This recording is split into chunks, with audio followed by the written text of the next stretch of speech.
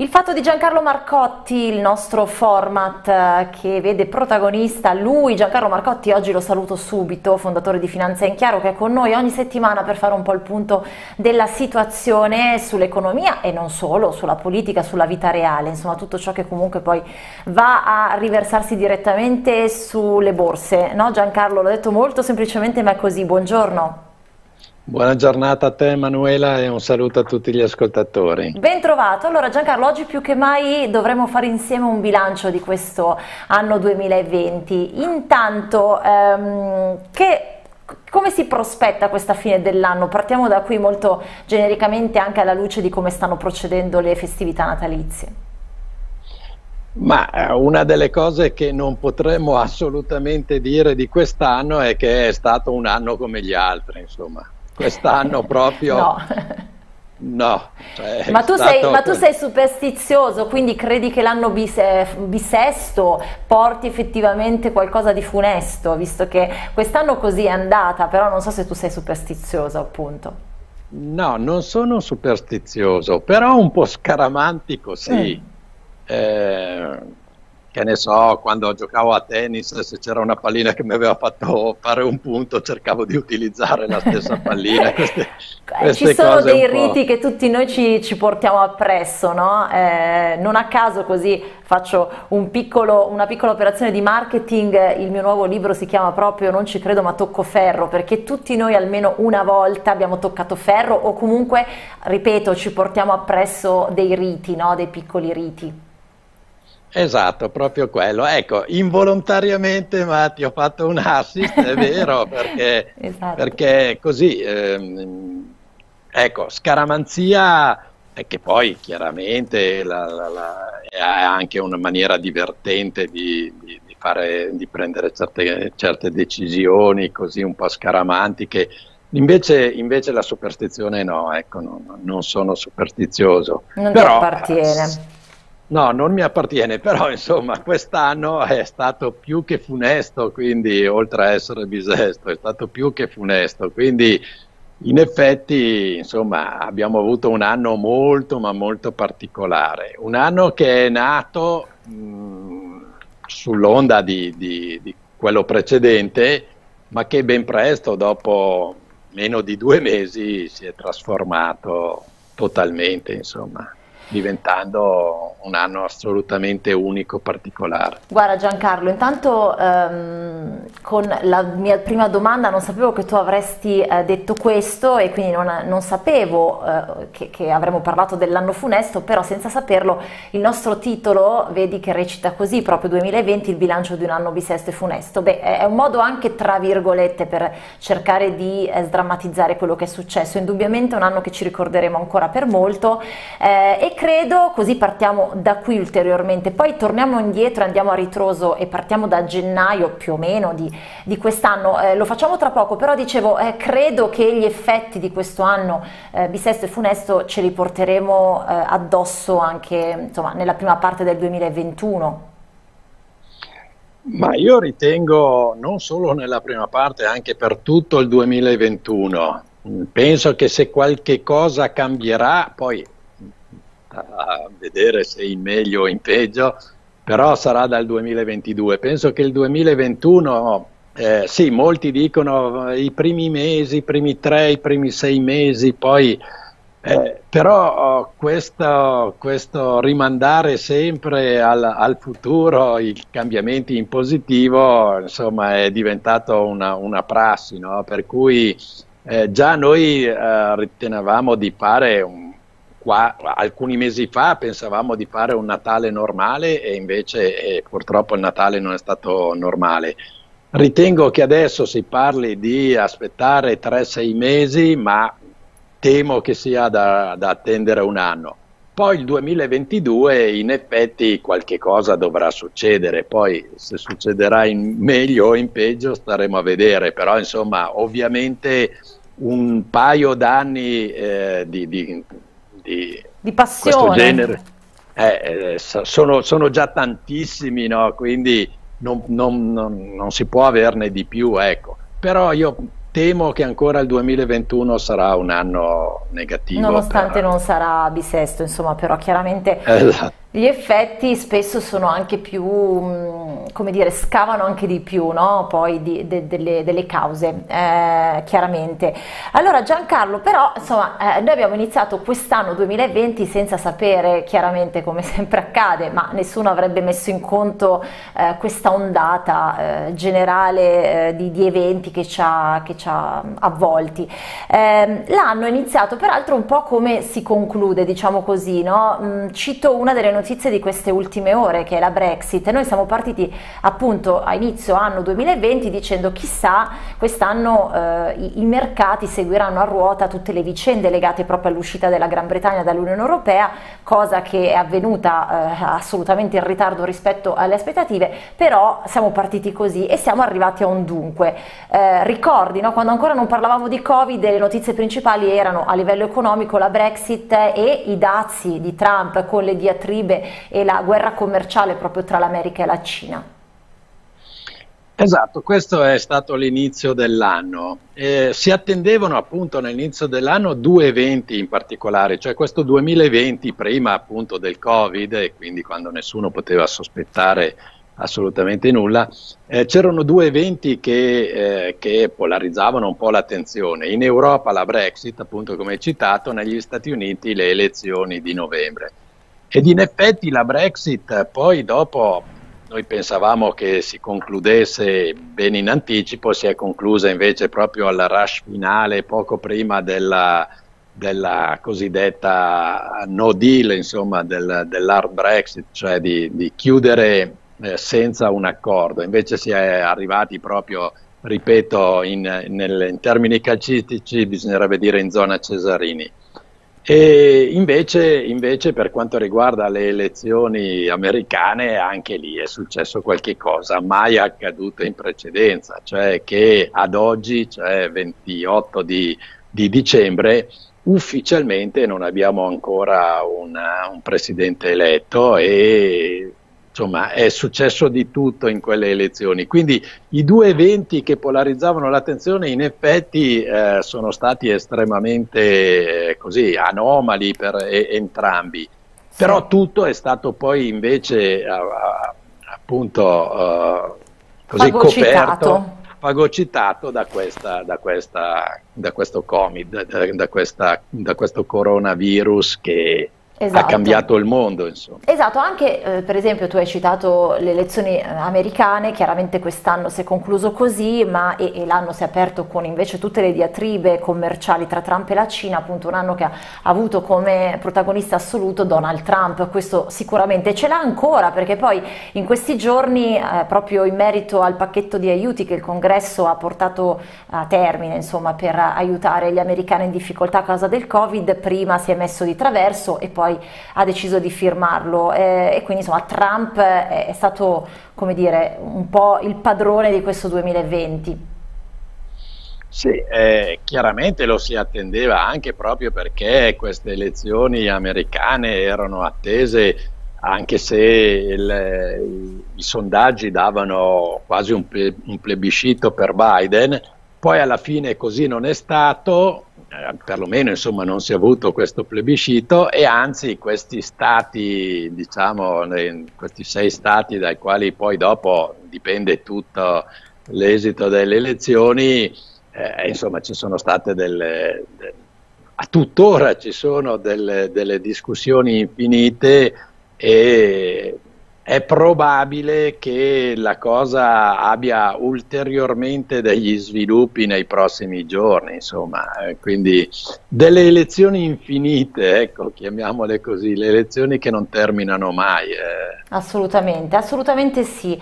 Um, approfitto della domanda eh, di un amico per agganciarci appunto a quella che però è stata la notizia importante di questo anno, cioè quella legata al coronavirus, con le conseguenze economiche del caso che ehm, avremo eh, in modo netto e più chiaro di fronte agli occhi come fotografia nel 2021. Johnny scrive, pensi eh, che il calo del PIL 2020 in Italia potrà avvicinarsi al 15%? Ecco, eh, parole come Covid, Covid, lockdown, smart working, PIL, che non è che è stata inventata con il Covid, però si è parlato molto di più di PIL proprio per il calo, eh, eh, hanno fatto parte delle nostre conversazioni quotidiane, Giancarlo, non solo nella divulgazione delle notizie, ma proprio eh, sono subentrate eh, in quella che è la vita quotidiana. No? Eh, ecco, da dove ti senti di partire, magari proprio dalla domanda dell'amico, con le stime rispetto al calo del PIL eh, futuro?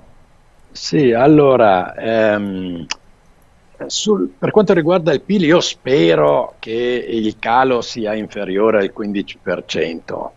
Eh, dovrebbe a, a, insomma, avvicinarsi al 10%, poi dopo se fosse 9 meglio, se fosse 11 peggio, ma insomma più o meno dovremmo essere su quel livello. C'è un dato eh, che è stato eh, appunto pubblicato proprio due giorni fa, quindi recentissimo, dalla CGA di, Mer, di Mestre, che eh, insomma è allarmante. No? Il calo del, del fatturato delle aziende italiane nel 2020 sarebbe di 420 miliardi dato che le aziende italiane fatturano all'incirca 3 eh, mila miliardi l'anno, vuol dire più del 10%, intorno al 13%, insomma. Quindi questo è un dato assolutamente allarmante. Il dato ancora, ancora più allarmante, secondo me, è che eh, sai eh, Manuela che eh, il nostro governo ha continuato a parlare di questi ristori, di questi ristori, no? sembra quasi che... Siamo arrivati a quattro, no? Il, ecco. ris, mi pare, ristori, ho perso un po' il conto sinceramente. Allora, mm. Sempre, sempre per, eh, per, la CGA di Mestre, cioè dati eh, insomma, di un istituto insomma, celebre e comunque prestigioso come la CGA di Mestre, sempre appunto dati suoi invece sarebbero arrivati alle imprese italiane ristori per 29 miliardi, alle imprese sto parlando, eh, non, non tutti. Quindi insomma 420 miliardi in meno di fatturato, 29 miliardi che sono circa 11 miliardi a fondo perduto più qualche tassa che è stata abolita, eccetera. Così, insomma, comunque 29 miliardi rispetto ai 420 è chiaro che non bastano assolutamente. Cioè non basta parlare di ristori, qua se vogliamo tenere in vita eh, il sistema industriale italiano eh, bisogna parlare di rimborsi, non di ristori, cioè eh, di dare dei soldi a fondo perduto, ma veri a fondo perduto, perché se io rimando il pagamento delle tasse, eh, ma resta, eh, cioè prima o dopo dovrò pagarle. E allora se io non lavoro, ditemi come faccio a pagare le tasse. Quindi questo è nel, per questo nel 2021 io sono ancora come avevo detto all'inizio della trasmissione, eh, pessimista. E, e, penso solo che qualche, qualche, segnale, buon segnale di ripresa ci potrà avere solo nel 2022, ma nel 2021 avremo ancora il, il, diciamo, l'influsso di tutte queste negatività del 2020 che per me sono state anche un po' non nascoste, ma insomma a, abbastanza Mm. non pubblicizzate, mettiamolo così. Certo, guarda, ehm, come anche tu sai, mi piace sempre ragionare con le parole, mi piacciono le parole, no? perché eh, poi ciascuno può renderle proprie, però fondamentalmente eh, hanno un significato ben preciso, soprattutto nel, in un contesto storico e eh, oggi stiamo procedendo attraverso le parole per fare questo bilancio. La parola ristori, io forse l'avevo detto proprio a te in una delle nostre puntate, mi rimandava qualcosa di proprio di irrisolto in partenza, dicevo, ma eh, mi sembra il ristoro che si prende quando si fanno, è presente le corse, non so, no? che ci sono i punti ristori, che certo danno un minimo di ossigeno in quel momento, ma poi dopo due passi eh, ulteriori è già finito, cioè l'effetto è già vanificato, no? e quindi chiaramente ora possiamo scherzare finché vogliamo a livello lessicale, però è chiaro che ci vuole di più per ridare ossigeno alle imprese. Peraltro tu hai citato i dati della CGA di Mestre, io ho di fronte a me, davanti ai miei occhi, quelli di Confcommercio, il 2020 nero delle imprese sparite più di 300.000, eh, soprattutto le imprese legate al commercio non alimentare e dei servizi di mercato.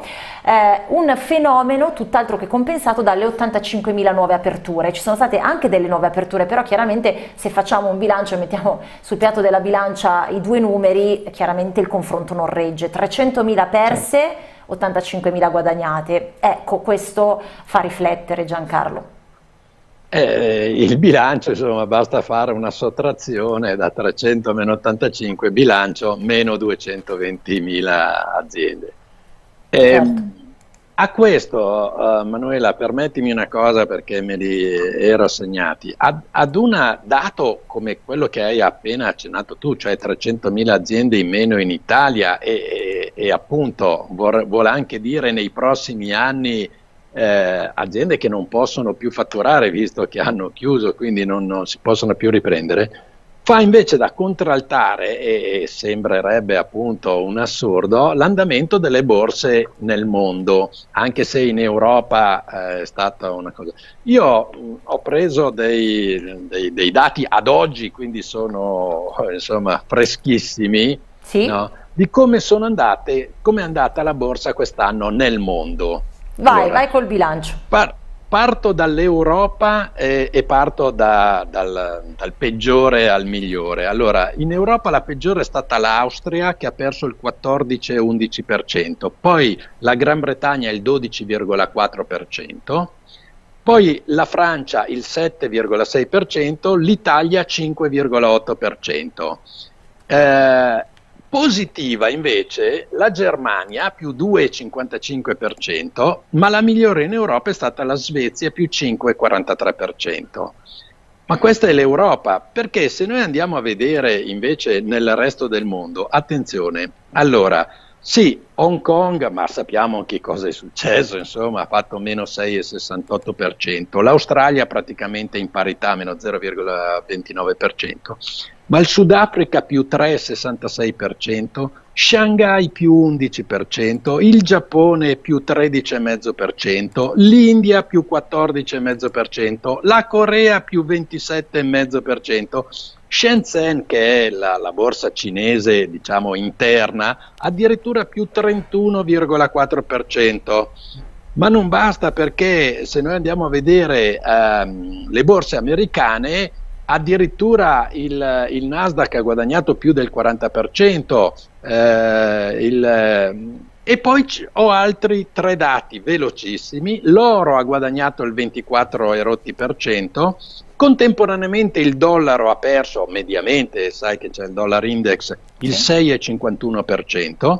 Ultima cosa, c'è un qualche cosa che batte tutti in guadagno. No, ma nettamente, stra, cioè strabatte tutti, non so come dire, umilia tutti gli altri, con un guadagno del 278% da parte del Bitcoin. Eh già, è, eh già. Questo è il, il bilancio, diciamo, delle borse eh, e quindi eh, eh sembrerebbe Adesso, un, esatto, un ottimo anno. Insomma. Eh sì, ti faccio una domanda, insomma, un po' eh, da, da, da, un miliardo di dollari, eh, anche complicata se vuoi, perché eh, poi adesso mi dirai tu, ma c'è una spiegazione tecnica a questo, ce lo siamo chiesti tante volte, è stata una delle domande più frequenti di questo 2020. Cosa rispondi tu Giancarlo? No, allora, eh, ovviamente tutto questo, tutto questo, deriva principalmente eh, dal fatto dell'iniezione di, di, liquidità delle banche centrali nel mondo, perché ogni banca centrale ha, ha, ha fatto delle, delle, operazioni straordinarie eh, di importi inimmaginabili in precedenza quindi è chiaro che una parte di questi importi sono andati a finire sul mercato finanziario, anche, anzi una parte non, non, da poco. Ma poi, eh, al di là di questo, però, abbiamo visto i dati dall'Europa e fuori dall'Europa e chiaramente eh, la differenza insomma, è balza all'occhio tutto, cioè i segni meno, a parte Hong Kong, che vabbè sappiamo cosa è accaduto, ma i segni meno praticamente sono solo in Europa.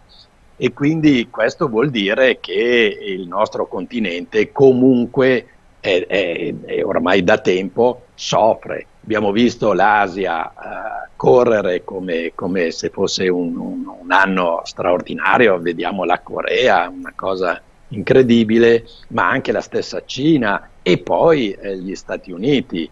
E purtroppo, purtroppo noi siamo in quella parte del mondo che eh, continuiamo a, a, a soffrire e quindi eh, sarà, sarà, difficile insomma per noi anche il prossimo anno, questo di sicuro. Anche perché paradossalmente, eh, lo abbiamo detto anche in altre occasioni Giancarlo, però paradossalmente quando e se la situazione, anzi se mh, mm, mi auguro che prima o poi sì, però quando non sappiamo ancora la situazione dovesse riprendere e tornare mh, mm, come dire un po' più rosea, Uh, bisognerà vedere come si comporteranno le banche centrali no? per il discorso che facevamo e quindi di conseguenza se gli investitori hanno riposto eh, troppa fiducia, tanta fiducia giustamente nelle banche centrali, se queste dovessero cambiare il loro eh, modus operandi e quindi le loro strategie, eh, gli investitori potrebbero come dire, trovarsi di fronte un po' a un ulteriore pantano, mettiamola così, è un po' questo il succo del discorso. Assolutamente hai toccato il tasto dolente, nel senso che appunto se noi oggi eh, così concludiamo un anno complessivamente negativo, per, assolutamente negativo per quanto riguarda l'economia reale e comunque non eccessivamente negativo invece per quanto riguarda la, la, la, il comparto finanziario, e dobbiamo appunto dire il, che, che, che insomma, l'intervento delle banche centrali è stato, è stato, determinante, ma l'intervento delle banche centrali non potrà durare all'infinito, anche perché è un aiuto, ma non è la soluzione del problema. Quindi eh, la, la, soluzione del problema purtroppo è tornare a, a vivere in maniera normale, ad operare in maniera normale, perché è chiaro che un Natale come questo, cioè, tutti abbiamo speso di meno di, di, de, degli scorsi anni, ma perché ha, insomma, nel... Figurati tutto, tutto la, mm, il, cioè le cene, gli aperitivi, eh, quindi tutto l'indotto no, che portava poi a, a, ad arrivare a organizzare queste e di conseguenza chi usufruiva di, dei servizi, insomma non c'è stato nulla di tutto ciò, quindi è presto detto.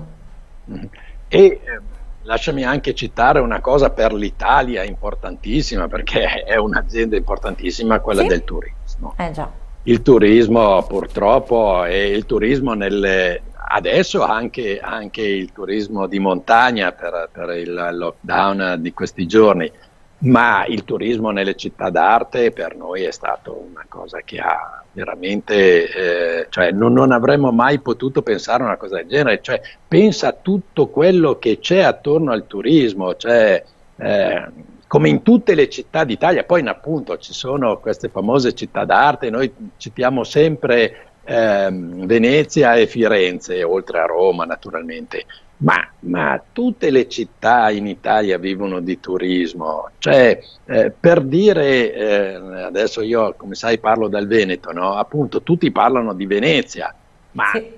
Verona vive di turismo, eh, certo. Padova vive di turismo, la stessa Vicenza con il Palladio vive di turismo, cioè ci sono tantissime eh, città in Italia che hanno sofferto enormemente questa, questa, questa situazione e, e prima di, di riprendere a, a, a, far di nuovo insomma, viaggiare le persone, insomma, ci vorrà del tempo. Assolutamente, non dimentichiamoci anche tutto il fattore psicologico e soprattutto anche di tempo, logistico, perché psicologicamente ci sarà paura per un po' a spostarsi, no? perché non si sa esattamente come varierà anche la situazione del Covid eh, da, da, paese a paese, ma anche a livello logistico, perché ehm, ovviamente tutta la trafila, per esempio in aeroporto bisogna comunque firmare la dichiarazione, bisogna chiaramente prendere la temperatura, sono tutte operazioni rallentate, quindi a volte eh, il tempo eh, cioè, dilatato fa anche, come dire, abbandonare l'idea di fare un viaggio, ad esempio, no? dice se si hanno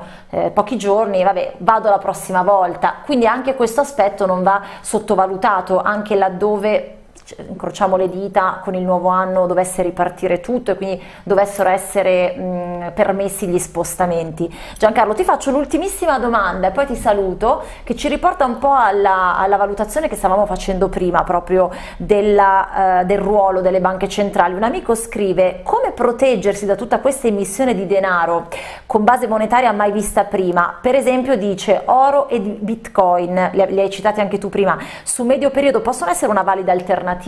Non so se possiamo dare un cenno eh, all'amico che scrive. Allora, eh, sui bitcoin eh, io non ci credo, ma non credo in generale appunto a queste valute alternative. Per me la moneta è una sola ed è quella che viene emessa dalle banche.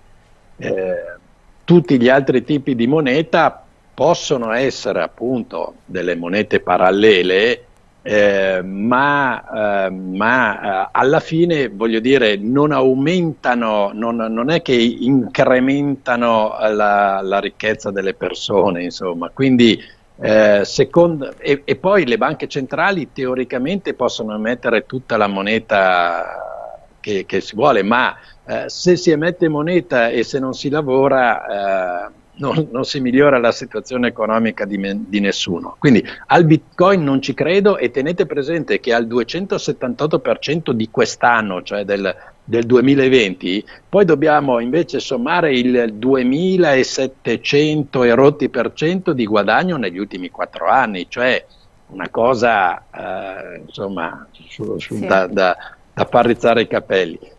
L'altra cosa invece l'oro è una cosa uh, differente, non che io consigli di a, a, acquistare l'oro perché a volte, cioè abbiamo sempre detto che l'oro è un bene rifugio, ma se andiamo a vedere il grafico dell'oro non sempre è salito nei momenti uh, di difficoltà ed è sceso nei momenti appunto di prosperità. Quindi ehm, se si vuole comprare dell'oro, per l'amor del cielo, sarà, avrà sempre il suo valore, non è che, eh, che, eh, sì. che sarà una cosa che, che, perderà totalmente di valore, perché comunque è un bene, voglio dire.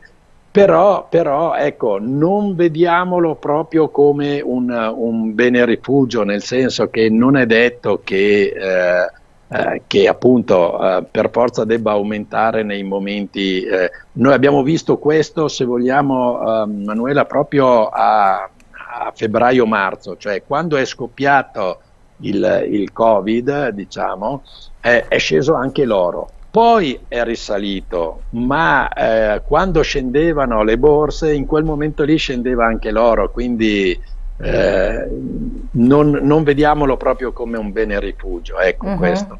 D'accordo. Però ecco, questo, quello, quello che, che, che, verrà non, nessuno lo, eh no, lo, non è dato sapere. sapere. Vi lascio con questa mm, riflessione, o meglio, questi dati che ha ehm, dato il, il, Centro per eh, le ricerche economiche e di affari eh, proprio rispetto al PIL dei paesi. Intanto eh, i differenti ritmi di uscita dalla pandemia avvicinano la Cina agli Stati Uniti perché a un anno di distanza dai primi casi di coronavirus che si sono registrati a Wuhan, l'epicentro del Covid, lo ricorderete, Pechino è proiettata verso un recupero economico che per il resto dell'Occidente resta un miraggio. Questo si rifletterà sulla dinamica proprio del PIL, del prodotto interno lordo. La, cre- la Cina crescerà quest'anno del 2% e sarà l'unica tra le grandi potenze a vedere un segno segno positivo. Gli Stati Uniti prima economia al mondo, invece saranno in calo, cederanno il 5% che è poco più del calo previsto a livello globale, meno 4,4 la peggiore contrazione della seconda